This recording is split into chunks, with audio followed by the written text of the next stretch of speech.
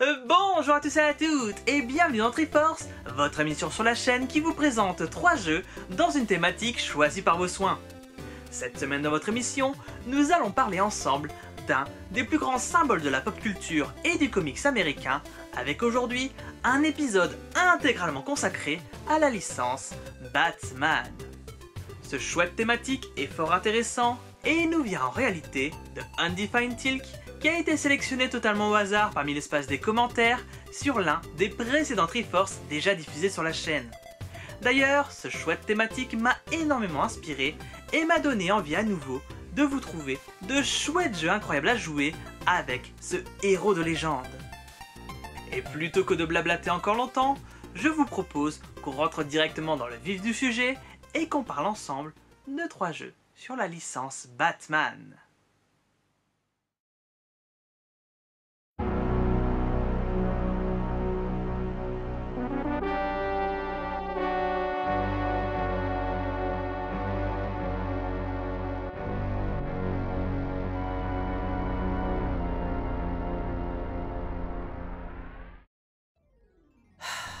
Batman. Voilà un super-héros qui va parler à bon nombre d'entre vous, tant ce personnage est extrêmement populaire auprès du public et a vraiment connu une carrière rocambolesque, aussi bien dans les comics, en séries télé, en dessins animés, en films, en jouets, en goodies divers, et bien entendu dans le petit monde du jeu vidéo, où depuis la nuit des temps, l'homme chauve-souris est présent dans le médium.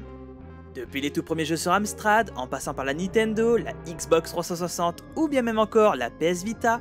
Batman a toujours connu un certain succès d'estime où il a eu le droit, comme la plupart de ses petits copains super-héros, à des adaptations tantôt catastrophiques, tantôt fantastiques au cours des nombreuses générations de consoles.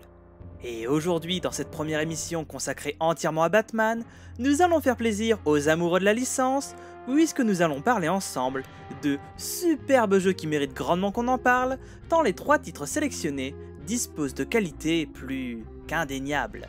Et sans plus attendre, commençons tout de suite par le jeu ultra connu de la sélection.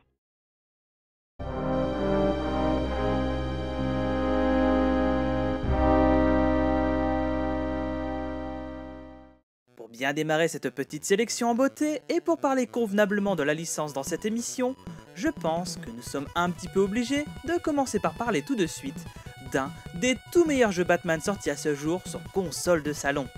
Ce titre, vous le connaissez très certainement, tant celui-ci a fait parler de lui pendant des années et a su faire frissonner les fans à travers le monde à cette délicieuse époque où la carrière de l'homme chauve-souris était à son paroxysme et créait des émules partout où il passait.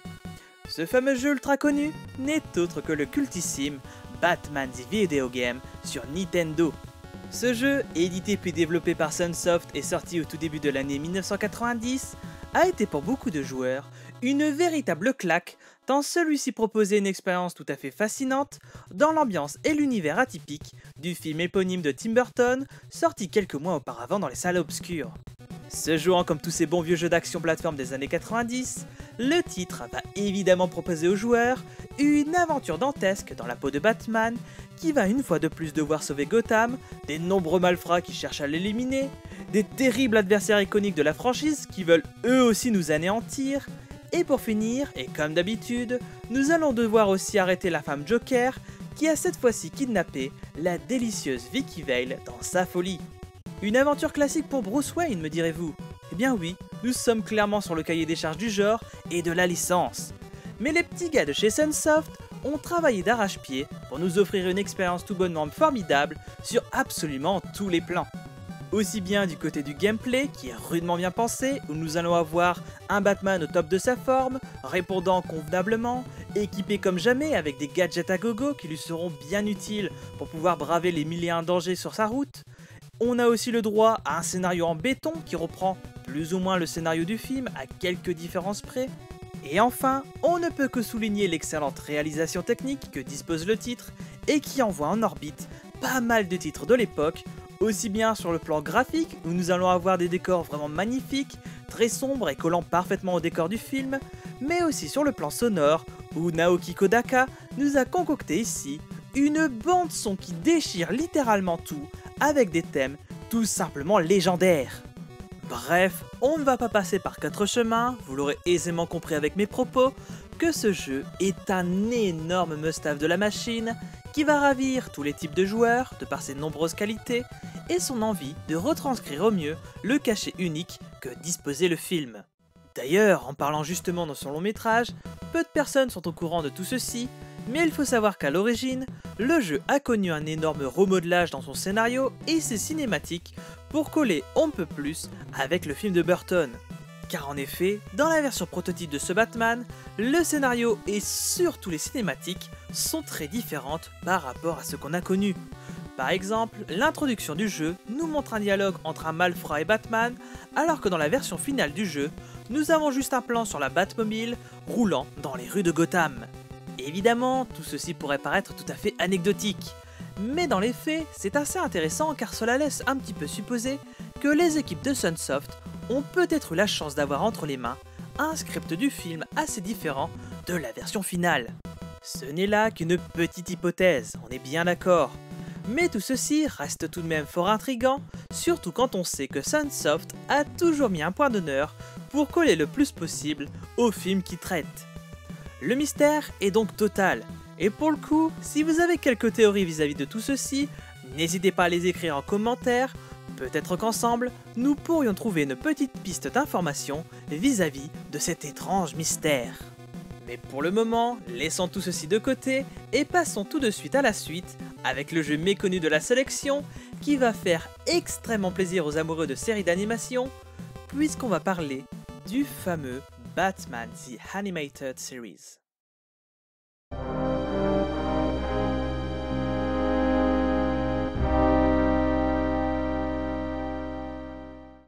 Et oui, je pense que beaucoup d'entre vous l'avaient aisément deviné lorsque j'ai commencé à teaser ce Triforce sur Batman, mais c'était une évidence que j'allais parler au moins une fois de l'excellente série d'animation des années 90, tant cette dernière a marqué à la fois l'histoire de l'animation, avec sa réalisation tout simplement mirifique, et qui envoyait en orbite pas mal de séries de l'époque, mais aussi et surtout toute une génération d'enfants qui ont été énormément fascinés par les incroyables aventures de Batman lors de son premier passage sur Canal+, et bien plus tard sur FR3 où la série connaîtra un très beau succès. Il faut dire aussi que pour le coup, la Warner avait mis les petits plats dans les grands avec cette série, et concrètement, sans faire une review complète et pour faire assez bref sur le sujet, si vous n'avez jamais vu ne serait-ce qu'un épisode, alors arrêtez tout de suite cette vidéo et foncez voir cette série qui pue la classe à tous les étages, explose absolument tous les dessins animés modernes et surtout vend du rêve pour quiconque qui soit un tant soit peu fan de Batman et son univers. C'est vraiment du tout bon et cela serait très regrettable de passer à côté de ce superbe dessin animé qui évidemment a connu moult jeux vidéo à son effigie assez rapidement avec des titres exceptionnels et qui méritent eux aussi très largement le détour. Et dit comme cela, je pense que beaucoup d'entre vous doivent très certainement penser tout de suite aux épisodes sortis sur Super Nintendo et Mega Drive qui sont aujourd'hui assez populaires et connus tant ces derniers se sont fait remarquer ces dernières années et sont devenus avec le temps de véritables classiques à découvrir. Cependant, malgré la qualité de ces derniers et leur popularité auprès du grand public, cela serait tout de même un peu dommage de passer à côté des autres titres issus de la série, comme notamment l'épisode Mega CD, Game Gear, et surtout de l'excellent et fort méconnu épisode Game Boy, qui est tout aussi impressionnant et peut prétendre à exploser l'épisode de Sunsoft. Car en effet, bien que le Batman de Sunsoft soit plutôt bon et reste assez décent à jouer encore de nos jours, cet épisode de Batman The Animated Series réalisé par Konami est en tout point supérieur à son aîné et propose aux joueurs une expérience vraiment sensationnelle et dans l'esprit de la série animée.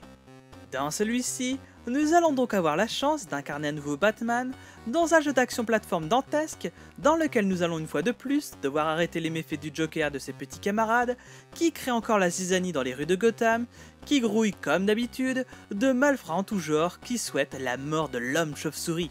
Rien de beau sous le soleil de Gotham côté scénario, mais concernant le reste du jeu, nous avons le droit à pas mal de chouettes petites choses, comme notamment à un gameplay efficace et rudement fun, on a aussi une bonne maniabilité où Batman répond convenablement dans les nombreux niveaux que compose le jeu. On a aussi le droit à de chouettes petites cinématiques qui sont fort appréciables et viendront renforcer encore plus l'immersion du joueur dans l'univers singulier du titre. Et enfin, on a surtout une réalisation technique qui déchire totalement pour de la Game Boy. Aussi bien graphiquement, où on a des décors qui sont très jolis et regorgeant de petits détails à foison,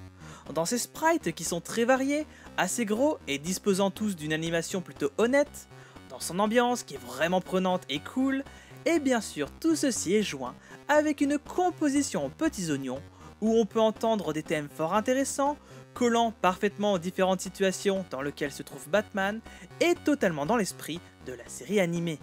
Bref, on est totalement sur un jeu qui respecte à fond l'univers du dessin animé éponyme et va faire plaisir aux fans inconditionnels de celui-ci, tant le jeu dispose de très bonne qualité qui font de lui un titre incontournable à jouer sur la portable de Nintendo.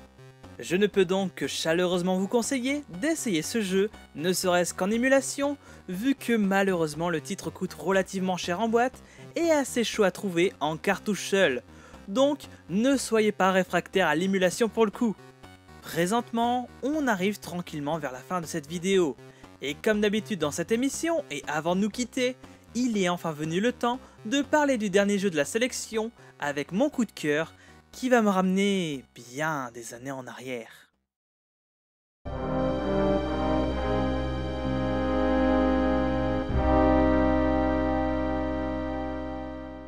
Pour le jeu du cœur, cette fois-ci, j'avais envie de vous parler un petit peu d'un des plus grands titres Batman auxquels j'ai pu jouer dans ma vie et qui est encore aujourd'hui à mon sens l'un des meilleurs jeux Batman sortis à ce jour. Car vous savez, des jeux sur cette licence, j'en ai vraiment joué toute une pléthore différente, où certains titres m'ont pas mal marqué, d'autres m'ont laissé totalement de marbre, mais s'il est bien un jeu Batman qui m'a vraiment touché et m'a donné envie de découvrir de fond en comble la franchise, c'est bien sûr grâce à l'exceptionnel Batman Arkham City. Deuxième épisode de la saga des Arkham, ce titre sorti en 2011 et développé par Rocksteady est une